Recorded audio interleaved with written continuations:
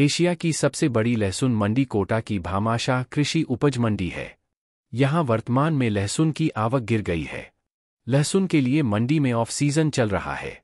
इसी के चलते 50 से 80 क्विंटल के बीच ही लहसुन की आवक हो रही है, जबकि सीज़न में यह पाँच से छह हज़ार क्विंटल तक हो जाती है। दूसरी तरफ़ किसानों के पास भी लहसुन नहीं है। वो भी बचा कुचा लहसुन सोर समेट कर मंडी में लेकर आ रहे हैं, क्योंकि मंडी में लहसुन के भाव आसमान पर है। इधर, मांग होने के चलते व्यापारी भी लहसुन खरीदने के इच्छुक हो रहे हैं, लेकिन उन्हें भी डिमांड के अनुरूप माल नहीं मिल पा रहा है। इसी के चलते दाम बढ़े हुए हैं। कोटा भामाशाह कृषि उपज मंडी के सचिव का कहना है कि वर्तमान में मंडी में 25 से अट्ठाईस हज़ार रुपये प्रति क्विंटल लहसुन का दाम चल रहा है, जबकि एक्सपोर्ट क्वालिटी लहसुन के दाम 35 से चालीस हज़ार रुपये प्रति क्विंटल तक भी मिल रहे हैं, लेकिन यह लहसुन एक क्विंटल से भी कम मंडी में पहुँच रहा है। मंडी सचिव का यह भी कहना है कि लहसुन का मंडी में सीज़न अप्रैल से लेकर सितंबर से अक्टूबर तक रहता है। इसमें लगातार लहसुन की आवक मंडी में होती है, लेकिन अक्टूबर के बाद लहसुन की आवक कम हो जाती है, क्योंकि किसानों के पास भी फ़सल नहीं रहती और लहसुन सूखने भी लगता है। साथ ही नए लहसुन की आवक मंडी में शुरू हुई है, लेकिन यह भी बहुत कम मात्रा में आ रहा है। पंद्रह मार्च से मंडी में आवक शुरू होगी। साथ ही एक अप्रैल के बाद आवक बढ़ जाएगी। इधर, कोटा के रिटेल बाज़ार की बात की जाए तो यहाँ 300 से 350 रुपए किलो के भाव से लहसुन मिल रहा है। एरोड्रम के नज़दीक सब्ज़ी मंडी के व्यापारी अजय कुमार गौतम का कहना है कि वर्तमान में नया लहसुन न के बराबर आ रहा है।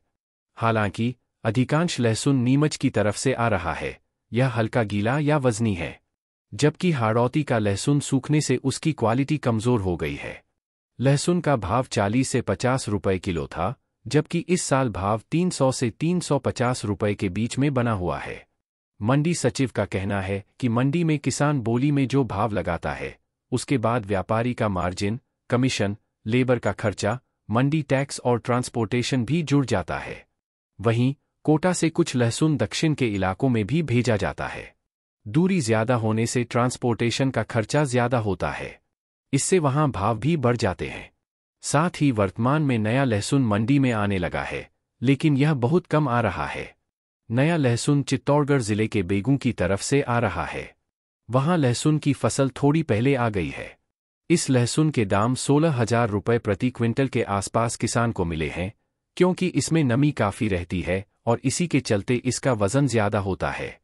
इस लहसुन के सूखने पर इसका वज़न कम हो जाता है। इसलिए व्यापारी इसे महँगे दाम पर नहीं खरीदते हैं। एशिया में सबसे ज़्यादा लहसुन का विक्रय कोटा की भामाशाह कृषि उपज मंडी में होता है। यहाँ के सेक्रेटरी का कहना है कि साल 2022 से 23 में करीब 11 लाख क्विंटल लहसुन की आवक मंडी में हुई थी।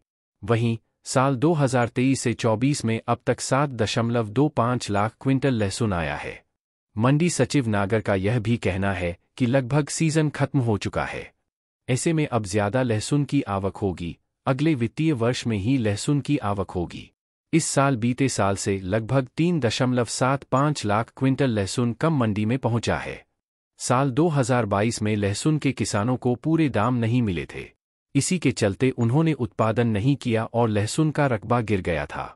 साल 2022 में जहाँ एक दशमलव एक पाँच लाख हेक्टेयर में लहसुन की फ़सल किसानों ने उगाई थी इससे बम्पर उत्पादन होने के चलते किसानों का लहसुन दो से लेकर बीस रुपये किलो तक बिका था।